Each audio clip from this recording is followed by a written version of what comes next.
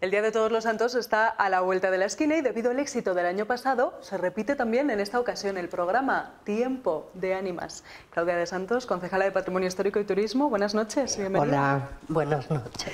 Bueno, debido al éxito del año pasado, este año repetís programa de Tiempo de Ánimas, que está indicado para aquellos que, eh, me incluyo, nos encanta pasar miedo. Bueno, eh, sobre todo se trata de, de poner en, eh, eh, al servicio y en el conocimiento de todos modos tradicionales nuestros de relacionarnos con, con la muerte, con el más allá. Bueno, se trata de disfrutar ¿no? de un Día de Todos los Santos, pero de una manera un poco diferente. De disfrutar de nuestro patrimonio, pero verlo también de una manera distinta. Por ejemplo, de ir al cementerio, al cementerio judío, pero de otra forma y aprender además cosas, porque eh, son visitas que además lo que quieren es precisamente eso, que salgamos con sabiendo un poquito más, ¿no? Sobre todo de nuestro sí, claro, es eh, eh, dar valor a ese patrimonio más oculto, menos visible.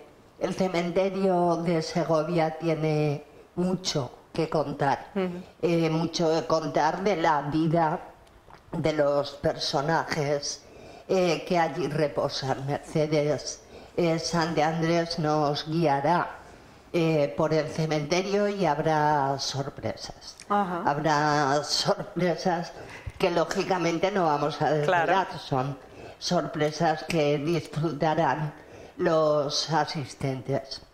En el caso del cementerio judío, la visita que es teatralizada, eh, tiene, digamos, un matiz más etnográfico, porque vamos a hablar fundamentalmente del duelo, mm. cómo la cultura judía vive el duelo. Y nos vamos a, eh, dar cuenta de mm, cuánto de esa cultura judía está, eh, o estaba al menos, absolutamente incorporada a nuestro modo de afrontar la muerte, el duelo, digo, estaba porque, bueno, la cultura tradicional con nuestros problemas de, despoblación también se, ha perdido o se está perdiendo. Eh, veremos también abundando en esta parte de cultura tradicional la conferencia de Carlos Porro eh, mm, sobre eh, vestirse para la, ocasión, cómo, nos vestíamos para los entierros, el luto, eh, qué ropa se le pone, se le ponía a un cadáver la mortaja, ¿no? Y, y, bueno, y así seguiremos también, y eso sin duda es lo más resaltable del programa, con la programación que tanto la catedral como el Alcázar han preparado específicamente para celebrar este segundo tiempo de ánimas. Yo creo que es un lujo eh, para la ciudad ver a los tres grandes hitos, acueducto, y permíteme que identifique al ayuntamiento con el acueducto, catedral y alcázar programando juntos. Han hecho eh, ambos un programa muy, muy interesante que yo creo que vamos a disfrutar todos.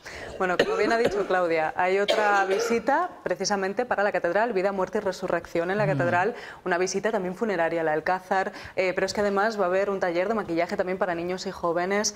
Bueno, muchísimas actividades, Claudia. Sí, el arriero, el arriero Claudio, eh, también se transforma para, para la ocasión y ese taller de, maquillaje, pues yo creo que, puede ser una propuesta estupenda para de turismo familiar, de actividad de familia muy, muy específica y muy centrada en este tiempo. Y además me ha parecido muy interesante, ¿no? Precisamente el aprender, no solamente el ir para pasar miedo, ¿no? Para vivir emociones fuertes, sino para aprender, ¿no? por ejemplo, pues cómo se visten en diferentes países para el luto.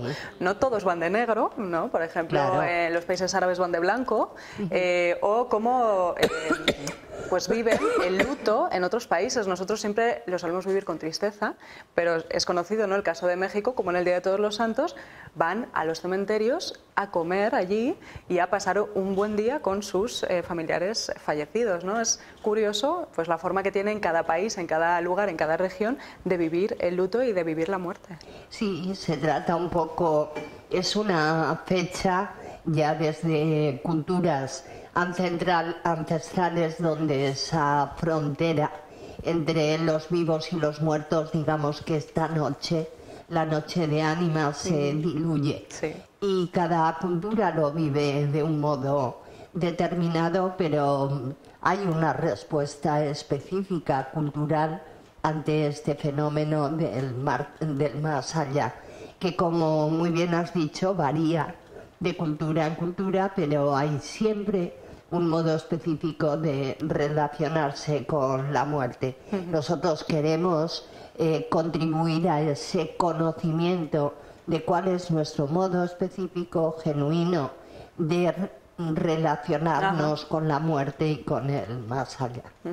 Pues Claudia, yo creo que solamente nos queda decir qué pueden hacer todas aquellas personas que quieran participar en las diferentes visitas, eh, pues a qué hora pueden acudir o dónde pueden eh, obtener más información. Bueno, toda la información, como siempre, está en la web de Turismo de Segovia eh, y siempre recomendamos que la gente se inscriba, sean gratuitas o no las, eh, las visitas porque eso nos ayuda a que la organización funcione, los flujos, los eh, eh, aforos se mantengan y que sea una experiencia agradable para todos.